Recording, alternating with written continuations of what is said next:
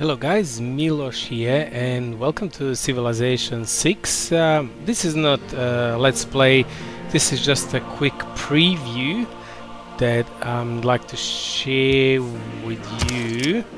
So I'm just gonna go into my current game, which is actually my first From game. the first stirrings of life beneath water, to the great beasts of the Stone Age, to man taking his first upright steps, you have come far. Now begins your greatest quest. From this early cradle of civilization on towards the stars. Gorgo, Queen of Sparta, glory to you and your loyal hoplite armies.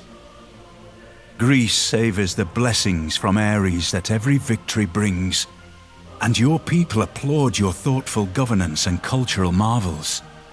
Stand proud, for the legacy of Greece and of your achievements will be told over and over again for generations. Alright, so I'm playing as Gogo or Gorgo. Or Gorgo, whatever they pronounce it. So, playing as Greece, uh, why? Because I kind of liked some early bonuses um, that um, I'm gonna get into in a second. And this is my first playthrough. Um, now, what do I think about this? Um, mm, game is uh, well when it comes to performance and graphics game is actually pretty good when it comes to gameplay now I spent quite a few hours playing Civ 5 and uh, you get used to so many different uh, basically the problem is my own idiosyncrasies that um, you know you develop as you're playing a certain type of a game for for a long time. Um, so for example movement of the units um, I'm still struggling with that and because my hands are kind of running rushing ahead of my brain. But anyway um, the gameplay is a little bit different. Um, one thing that I noticed is that AI is a little bit dumb um, I had actually a settler roaming around this area backwards and forwards for quite a while and I was actually afraid that they were going to take this place but anyway I managed to um, get um, my own city here so still in a kind of early stages of the empire. It's a medieval time uh, at least for me. Um, I did encounter two bugs or maybe one of them is um, a gameplay thing. So if you have a look at here you have Gogo that's me and then you have Gogo as well. So there are two Greek empires here. I'm not sure if that's the intention of the developer or not but anyway. Um yeah so maybe it's not maybe it is not. Now there is another thing if I go to the map option it's not map option. Um sorry just need to have a look at how can I see the strategic view here. Because initially when I started this um, the game popped up with the um, little pop-up um, saying that I discovered another continent which is meant to be something around here I'm really not sure how to recall that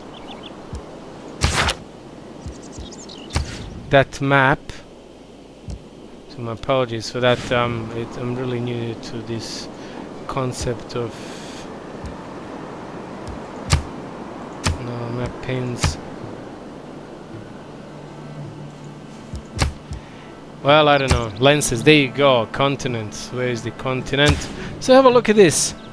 So according to the game these are separate continents. So the purple and green are two different continents. Yeah so anyway it's definitely a bug.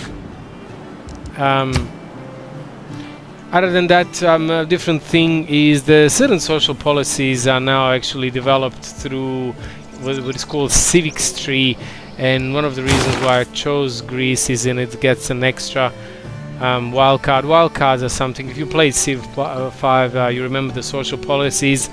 Um, you can basically change these policies. You need, for example, some gold to spend if you want to change them immediately or after, for example, next turn. Um, I'm going to be able to replace the cards if I need them to. So far, oh, this uh, strategic view is cute. I'm just going to turn it off.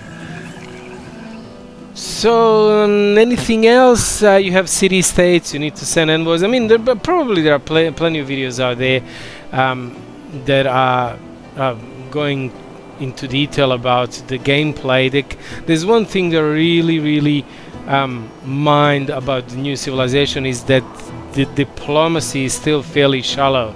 For example, um, I I went to so now I do not remember this terminology. So basically, I have had three invoices Buenos Aires when England declared the war, and there was no option of me negotiating peace or enforcing England to make peace with the city-state. So, um, yeah. So as I said, look, it's still early in the game. This is my first playthrough, and what I'm planning to do with this map is actually I want to build a city over here so I can get a coastal um, coastal um, access to the sea.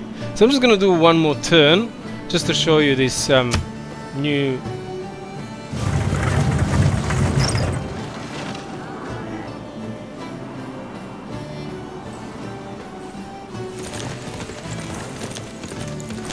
There's another thing that I'm I'm not a big fan of is um, that the roads. The navy has both a tradition and a future, and we look with pride and confidence in both directions.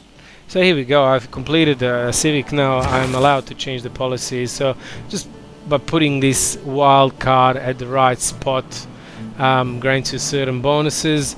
Also, as you progress through your um, the time and discovering new civics uh, there are different options there that can be selected for the type of the government so that's a, that's a probably one big significant difference than previous installments um, I'm actually not gonna change so what am I having here? Let me see. New builders to extra build. Let me see what I can get here. Mm.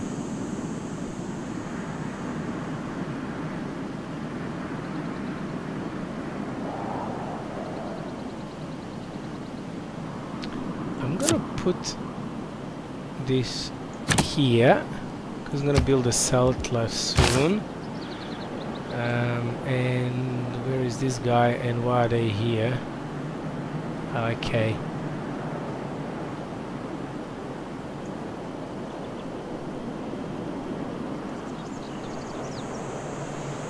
This is one of these things. I don't know what's going on. Why is my move button not working? Ah, I need to choose Civic, of course. So let me see what I want to pick from here. So,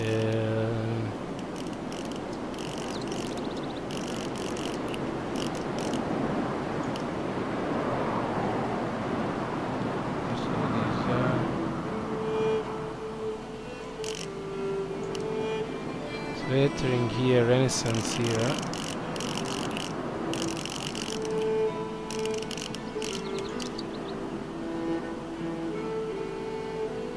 Okay. Monarchy. If I choose the civic tree, I'd like to see something. If I go to the government, what are the bonuses here?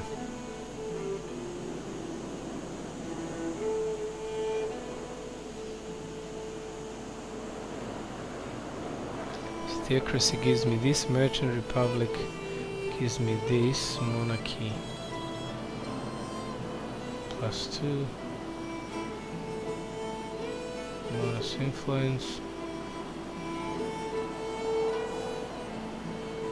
So what should I go for? Merchant Republic or Monarchy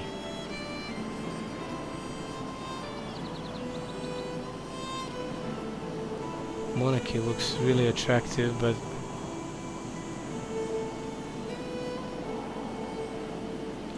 I'm actually playing a peaceful game, so I'm gonna change. What do we say? Merchant Republic. Well, I'm a little bit far to get there.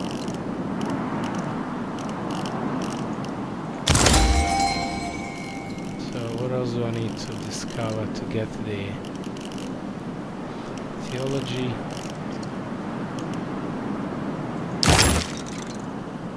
Now this will take a while.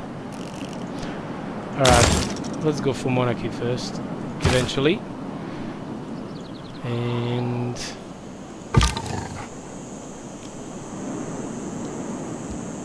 so why is my shortcut working now?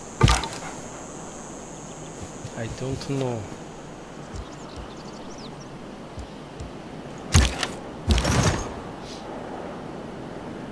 Yeah.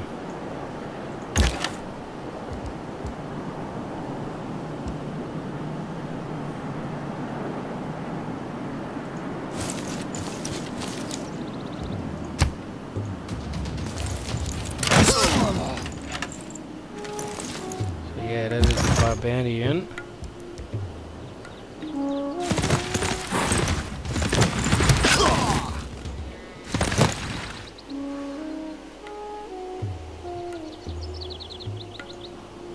Alright, so that was a little bit of a combat. This city needs food. Okay. We'll get him food.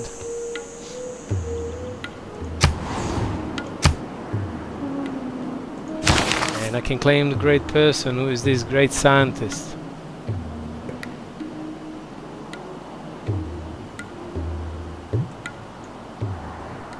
How can I scroll?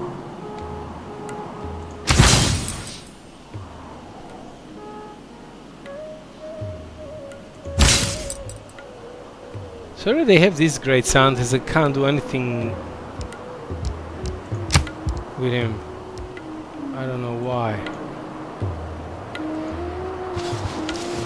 I. I'm really still discovering what's going on with this game. So why is this one...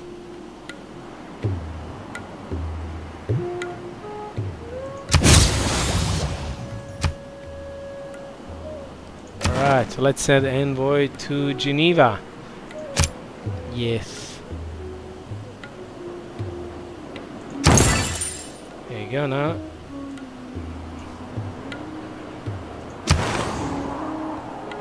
Influenced by two civilization. Yeah.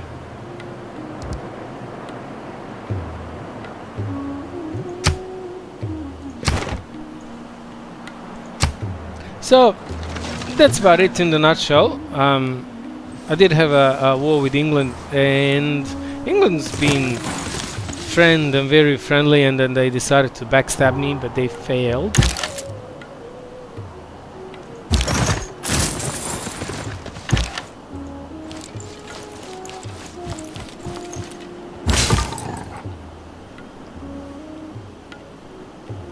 Why is my shortcut not working? I don't know. For some reason. And what can this guy do? And why can't he do anything? This is what I don't understand.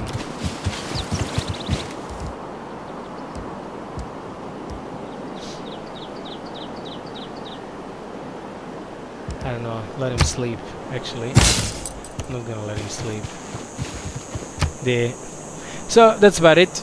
Guys, I hope um, you guys liked it. Um, as I said, it's a little bit of different gameplay and I really do not have intention to make a let's play because I believe there's plenty of them out there. Uh, I hope you enjoyed and thanks for watching.